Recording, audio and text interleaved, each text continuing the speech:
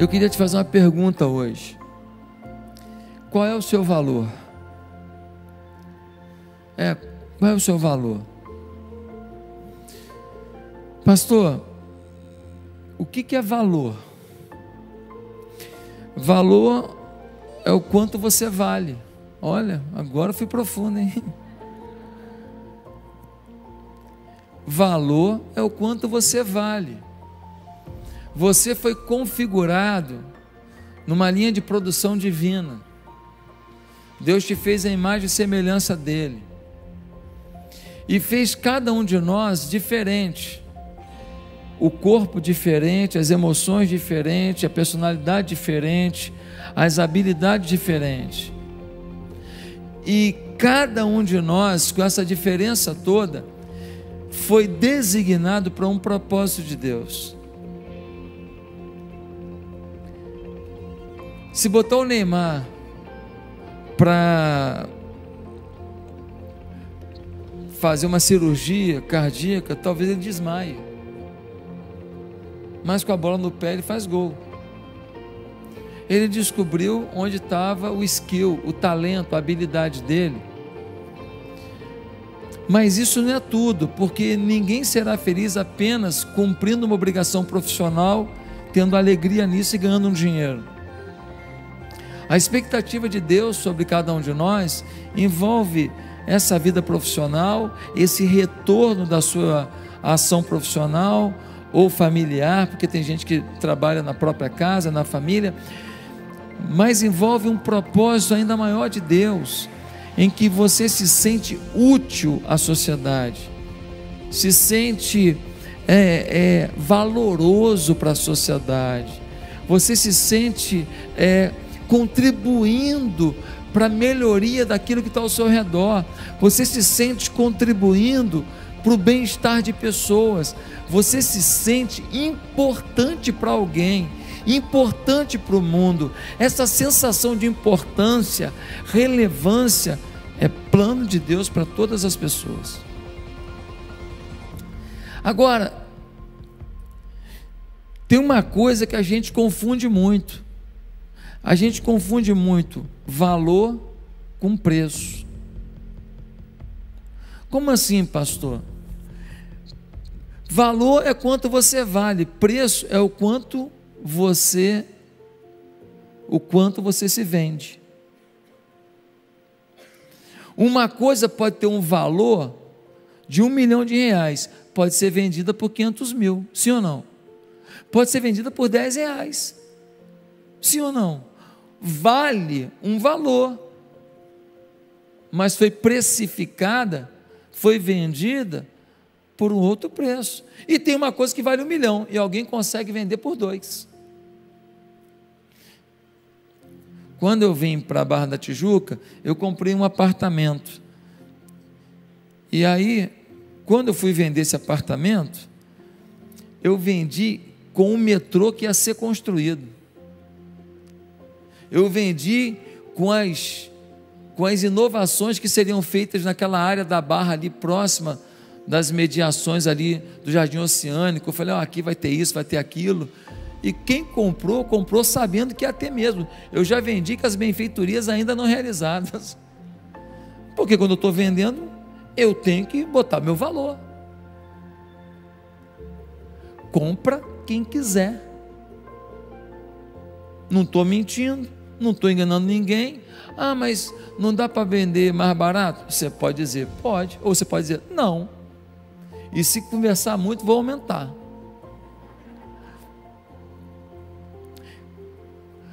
A pergunta de hoje é: qual é o seu valor? E a segunda pergunta é: qual é o preço que você tem visto em você? Você tem um valor, mas você muitas vezes coloca sobre si um preço. Você se vê numa outra esfera e não no seu real valor. Quem está me entendendo? Eu vou repetir que pode ter algum botafoguense. Estou brincando. Qual é o seu valor? Que que você tem de grandioso, de lindo, de maravilhoso, de bondoso, de exponencial para oferecer ao mundo? O que você pode fazer que ainda não fez? O que você deveria estar sonhando e você nem começou a sonhar? O que te trava para você não pensar maior do que aquilo que você vive? Eu não sou um fã da teologia da prosperidade, em que todo mundo vai ficar rico, a começar por mim. Mas eu também não sou fã da teologia da pobreza, dizendo: o importante é o seu coração, fique duro.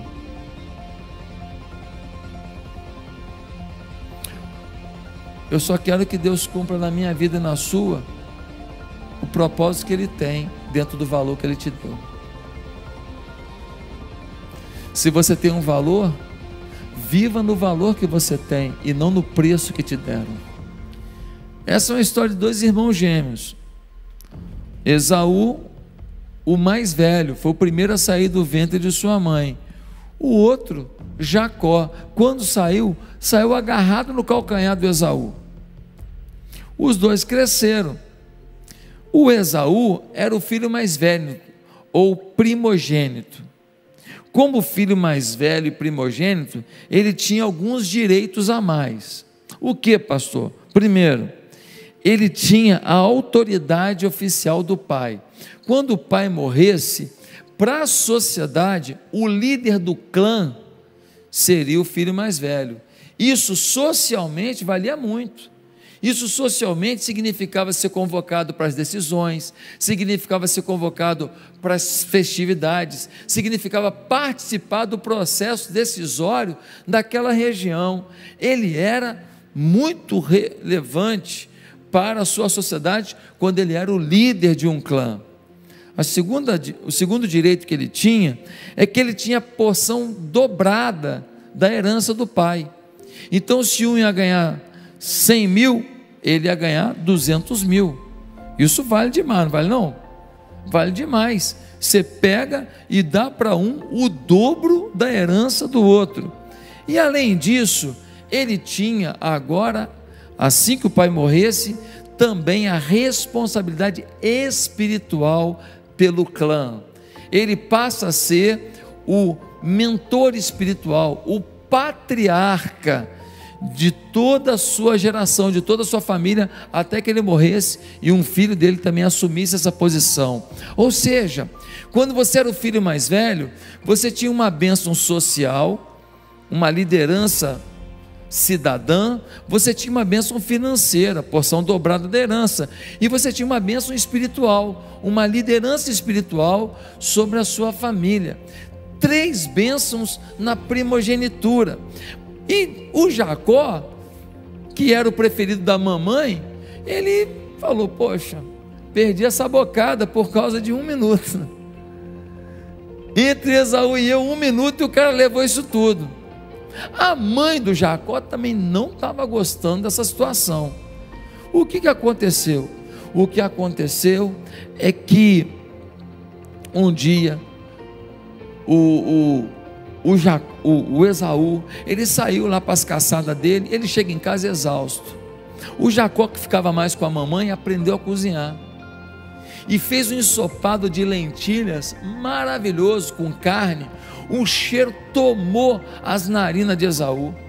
O Esaú falou assim: pô, me dá um pouco dessa sopa de lentilha aí, gostosa, esse guisado maravilhoso aí. O Jacó, com a mãe que conversavam muito sobre primogenitura, o fato dele ser o segundo, no seu preferido do pai, ele vira para o irmão e fala assim: Ei, não vou te dar nada não. Se você quiser, eu te vendo pela tua condição de filho mais velho. Uma coisa louca, um papo doido. Como é que alguém pode propor de comprar o direito de primogenitura com um prato de comida? Não parece absurdo? Pô, no mundo tem muita coisa absurda. Quanta gente que joga fora uma família por causa de uma noite com uma vagabunda?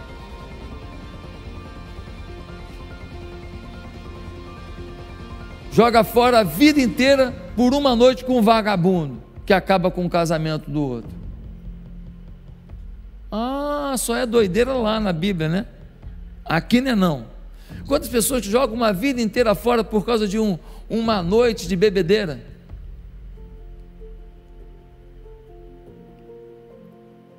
Quantas pessoas que jogam uma amizade fora por causa de uma fofoca, sem nenhuma base, que você não foi lá ferir se é verdade ou mentira? Quantas pessoas que julgam uma liderança da igreja por causa de um, uma pessoa rebelde que não tem amizade nenhuma nem na família dele e que sai da igreja falando mal de alguém, falando mal de um líder, e alguém embarca nisso? Sim ou não? Gente, tem muita proposta doente que é aceita pela gente. E isso aconteceu aqui. Ele falou: de que adianta eu ter primogenitura com a fome que eu estou? Estou morrendo de fome. Aí o Jacó falou assim: então faz um juramento. Eu juro que a minha primogenitura é sua a partir de hoje, recebendo esse prato de lentilha. Esaú talvez tenha feito sem valorizar muito aquilo. Jacó falou: a boca disse, agora eu vou tomar posse disso. Lá na frente, o Jacó se une com a mãe, engana o pai Isaac, e então Isaac, ao invés de abençoar Esaú com a primogenitura, vai abençoar o Jacó e o Jacó, que comprou a primogenitura do Esaú, lá na frente ele engana o Esaú, recebe a bênção do pai e vai viver a primogenitura. Isso deu um problema danado. O Esaú queria matar o Jacó, o Jacó teve que fugir. Um problema tremendo que começou nessa conversa fiada que aconteceu no texto que a gente acabou de ler. Qual foi o problema aqui? O problema aqui é que Esaú, ele tinha um valor.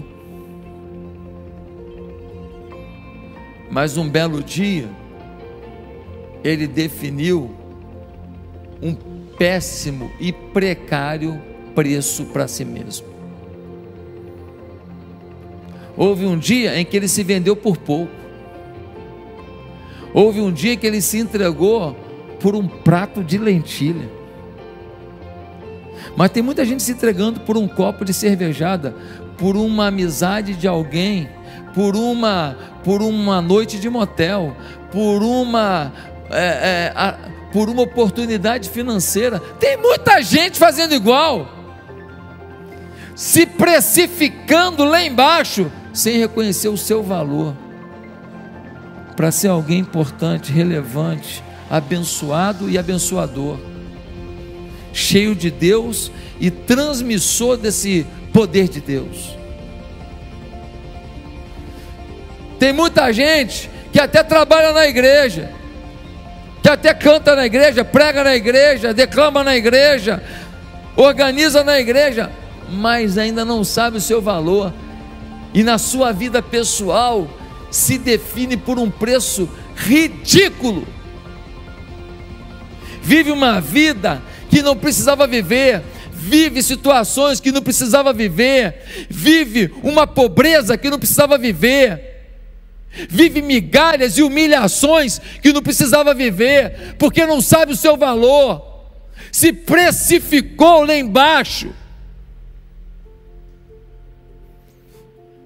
Esaú trocou tantos direitos e bênçãos por um prato de lentilha. Por quem? É bom você saber. Porque o que ele fez, os motivos dele podem ser os seus. Por que, que ele perdeu a visão do valor dele? Primeiro, porque ele valorizou demais suas necessidades. Estou com uma fome, estou com uma fome, fome demais, estou prestes a morrer. Estava prestes a morrer? Não tinha uma banana para comer, não? Não tinha um saco de farinha, não? Faltava comida naquela casa, não tinha nada na dispensa. Estou prestes a morrer, supervalorizou, só pensou naquela situação. Estava com fome, estava com fome, tudo bem, mas não prestes a morrer. Dava para caminhar mais um pouco, pegar alguma coisa lá, ele mesmo preparar e não entrar nessa conversa fiada com Jacó, sim ou não? Então você não precisa casar com essa porcaria, não. Você pode andar mais um pouco, preparar uma coisa legal e casar bem. Você não precisa entrar nessa sociedade, não. Você pode caminhar mais um pouco, avaliar melhor, pensar melhor e então fazer uma sociedade com alguém que vale a pena. Então você não precisa abandonar a sua igreja, não. Você precisa ouvir as pessoas, ouvir melhor, conversar, dialogar, ver onde que você errou e então restaurar relacionamentos, ao invés de perder a sua fé e a sua aliança, e a sua cobertura espiritual, e depois se danar o resto da vida. A gente pode caminhar mais um pouco, e não, estou ah, prestes a morrer.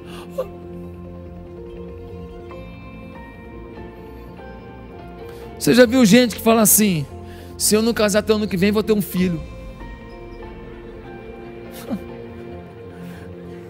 Caramba, meu irmão. Não, pastor, porque eu estou tô, tô passando a idade. Se eu não casar até o ano que vem, vou ter um filho. Então quer dizer então que você botou uma meta de ter um filho. Não tem um pai para o filho, mas para ter o filho você vai ter o filho sem pai. E o filho que se vire sem pai porque tem a mãe cabeçuda. Já viu uns planos que ele só tem o fim, não tem meio nenhum, não tem base nenhuma. E esse fim sem base vai ser um fim que você não sabia qual seria de verdade. Quem está me entendendo fala, é comigo.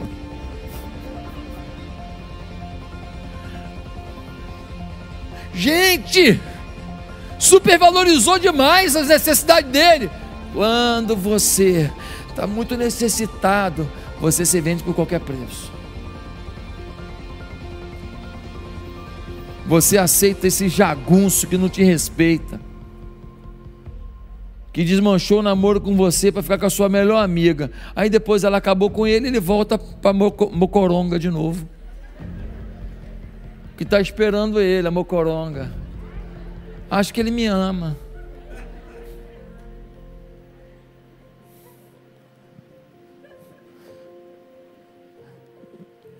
Quantas vezes a gente, porque a gente supervaloriza uma, uma necessidade da gente, a gente entra num relacionamento que não devia, a gente entra numa sociedade que não devia, a gente ouve quem não devia, a gente abandona quem não devia abandonar, tudo porque a gente quer suprir uma necessidade, uma necessidade financeira, uma necessidade de, de, de aparecer, uma necessidade de ter importância, uma necessidade de, de, de ter dinheiro, e a gente faz um monte de lambança, sim ou não? Segundo, a gente perde a visão do nosso valor quando a gente não percebe as armadilhas da vida. Por que, que você não sabe o seu valor?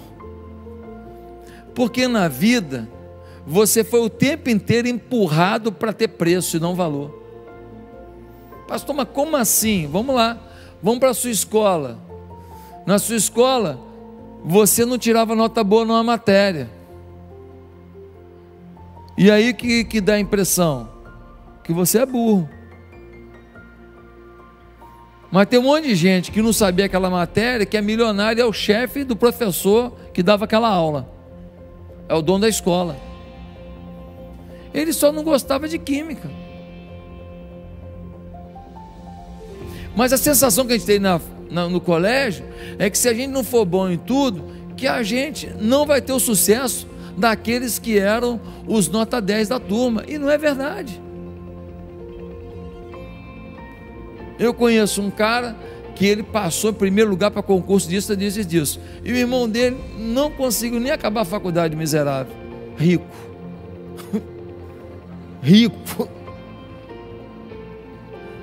Tem dinheiro de sobra para emprestar para o irmão que passou nos concursos todos. Por quê? Porque ele tem uma habilidade comercial.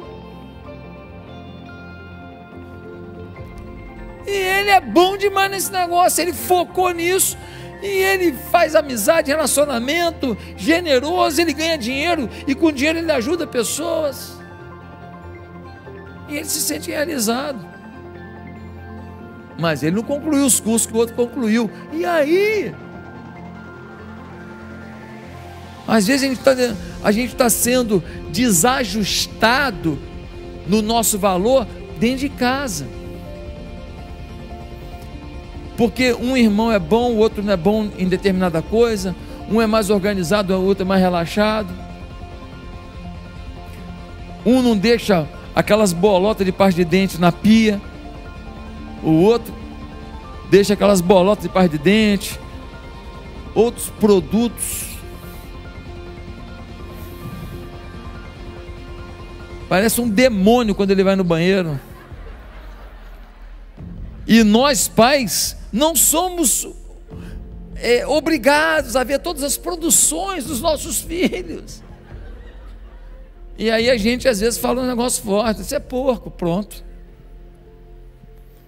Não vai dar em nada, estou relaxado. É isso. E aí, então, palavras de maldição são liberadas por causa de atitudes, comportamentos que a gente tem em casa, comparações entre filhos. Às vezes a gente é travado na igreja. Porque a gente não foi tão bem quanto alguém alguma coisa, porque a gente cometeu um erro e foi disciplinado, e a gente não foi ser disciplinado, tem que ser mesmo, mas não foi com amor, e a gente se sentiu magoado com aquilo, então isso vai criando travas emocionais.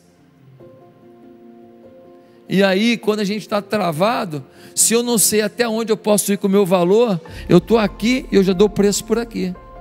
Eu já aceito uma condição de vida, eu já aceito um nível de casamento em que não tem amor, não tem carinho, não tem afeto, não tem sexo.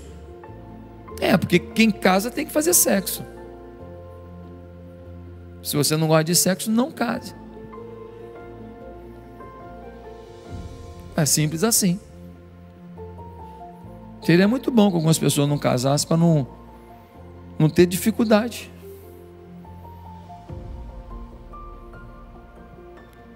Casamento é uma aliança, envolve tudo: carinho, atenção. Mas também não adianta o outro só quer sexo, mas não quer dar carinho. Tem um conjunto aí, né? Não quer dar atenção, tem um conjunto. Ao mesmo tempo, se ele é seu namorado, ele não tem que ter sexo. Se ele está te pedindo sexo, ele está te pedindo desrespeito. É o que a Bíblia diz. Se você quiser uma mensagem diferente, tem um monte de lugar por aí que pode pregar uma mensagem diferente. Mas se você quiser a mensagem da Bíblia, eu te aconselho a ficar aí. Porque o nosso grande problema é que a gente paga o preço de ter definido um preço e dá o nosso valor. O teu valor está na verdade. E a verdade independe do local. E a verdade independe da cultura. A verdade é a verdade. Quem está entendendo? Ah, não, isso aí no Brasil é assim. Não, não, verdade é verdade. A verdade de Deus é a verdade. Não tem verdade, não. No Japão não é verdade. Aqui é verdade. Não, não. A verdade é a verdade.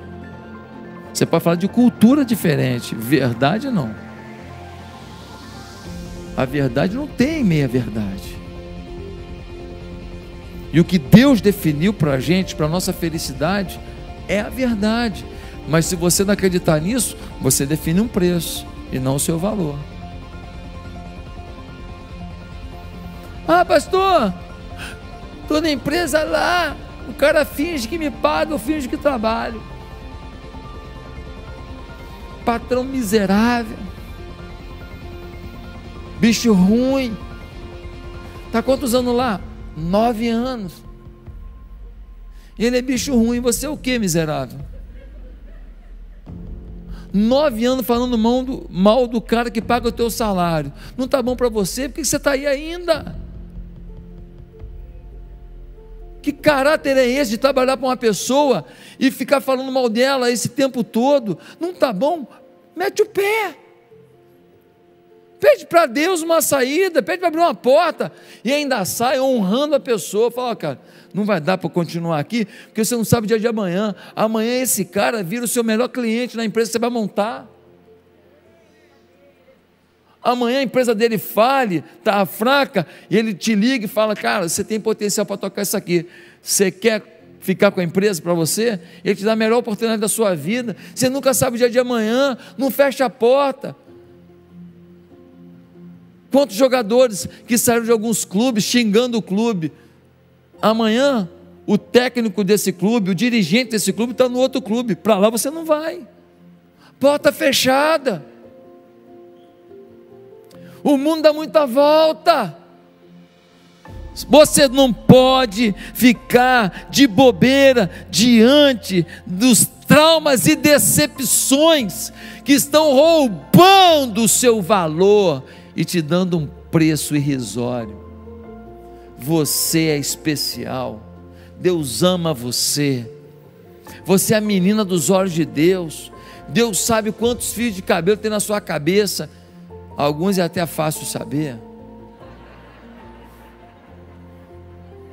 Deus te conhece você tem valor. Ah, mas eu já estou com 50 anos, 60 anos, 70 anos, e eu não, não descobri meu valor. Eu vivi uma vida limitante, uma vida miserável.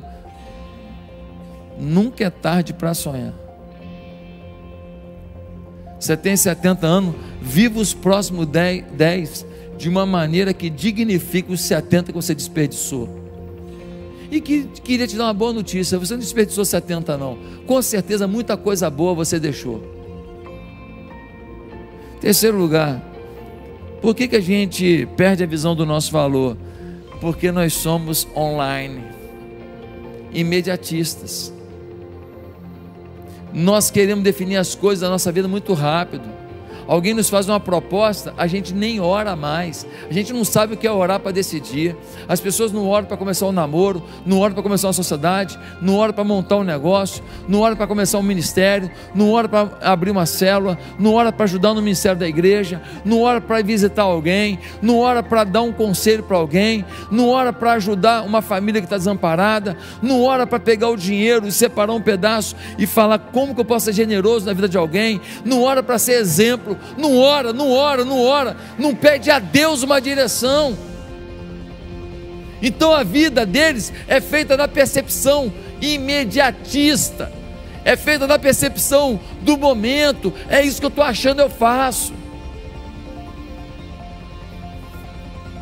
Quando o Jacó falou: quiser eu, compro a tua primogenitura. Era ele fala na hora: rapaz, vai o quinto dos infernos, Jacó. Que conversa é essa, rapaz? Tá maluco? Que papo é esse? Eu fico sem comer aqui mais duas horas, rapaz. Mas a minha primogenitura é ruim que eu vou abrir mão disso. Você tá doido, Jacó? Fala nisso de novo que eu te dou um couro, rapaz. Tá maluco, rapaz? Você é meu irmão, você quer me passar para trás? Você quer me enganar? Você é doido, cara? Eu morro, mas não jogo fora o que Deus me deu. Eu tenho valor, Jacó. Tem preço não, tem valor. Tomar banho, rapaz. Você é doido? Jacó vai falar o quê? Pois é, foi mal, tá bom, tá bom, tá legal. Mas não vou te dar comida. Pega essa comida, come todinha sozinho. Tomara que te dê uma dor de barriga, miserável. Eu vou lá, eu vou lá. Se não tiver carne, eu como só farinha. Vou jogar um molho de pimenta em cima e vou ó, mandar. E pronto, mas a minha progenitura, o meu valor ninguém leva. Amém? O que fez você jogar fora o seu valor? Você está satisfeito com a sua vida? Está tudo bem? Eu não estou falando de não ter problema, eu tenho problema. A minha mulher está nesse momento no hospital. Antes que alguém pense que é a coisa mais grave, é que ela está passando mal, está vomitando. Tá? Então, está sendo medicada, daqui eu vou para o hospital. Tem problema também. Hoje, fui tomar banho, quando fui fechar o box, o box, pá! Estourou. Bateu aqui, ó. Eu tô com tô de mão comprida porque tá com uns cortes aqui, eu botei band-aid. Arrancou uns bifezinhos aqui do lado. Ficou cheio de vidro no chão. Tive que botar uma toalha no chão para pisar, para poder sair dali. Comecei a estancar o sangue com a toalha de rosto. Você está a um centímetro do perigo, você está a um segundo do perigo todo dia, toda hora, e você não quer depender de Deus e saber o seu valor, para viver no seu valor a cada momento? Você é doido! Você vai rejeitar o valor que Deus te deu? Você vai desacreditar de quem é o teu Deus? Você vai duvidar que Ele tem o melhor para você, que Ele pode te abençoar. Você vai se vender emocionalmente, sexualmente, financeiramente, espiritualmente, por balela, por bobagem. Você tem valor. Não defina para você um preço, porque o preço geralmente é preço ridículo, irrisório e fora daquilo que Deus determinou para você. Mas tem um último motivo pelo qual a gente não percebe o nosso valor. Sabe qual é? É porque a gente não percebe o valor que a gente tem para Deus. Você não sabe o seu valor porque você não sabe perceber a valorização, a avaliação dos olhos de Deus sobre você. Quem determina o teu valor foi quem te chamou de burro. Quem determina o teu valor foi quem disse que você não vai dar em nada. Quem determina o teu valor, quem falou que você até tem dinheiro, mas você é sem vergonha. Quem determina o teu valor é quem fala para você que você é pão duro. Quem determina o teu valor, quem te chamou de egoísta. Quem determina o teu valor foi quem fechou a porta para você. Quem determina o teu valor foi o sócio que te passou a perna ou que você faliu junto com ele. Quem determina o teu valor é a ex-mulher que tem mágoa com você porque você falou realmente, então você começa a pegar seus traumas, seus erros do passado que a gente tem, suas frustrações, suas manias, e você começa a pegar esse negócio todo e faz disso o sistema de avaliação do meu valor. Foi Deus que deu para Esaú a primogenitura, a condição de filho mais velho.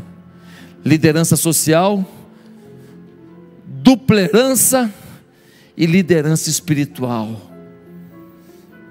Três bênçãos, porque Deus olhou para Esaú e falou: ele tem valor. Mas quando Deus vê o seu valor e você não vê, Deus respeita o preço que você define para si mesmo.